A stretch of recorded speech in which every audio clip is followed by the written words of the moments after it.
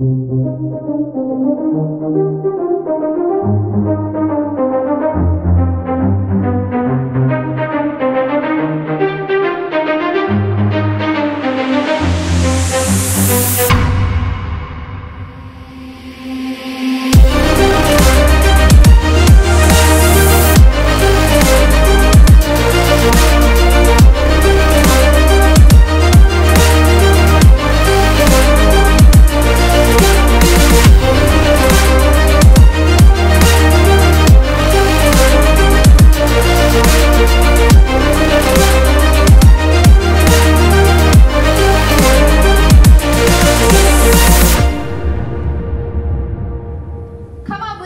creativity and new ideas, right?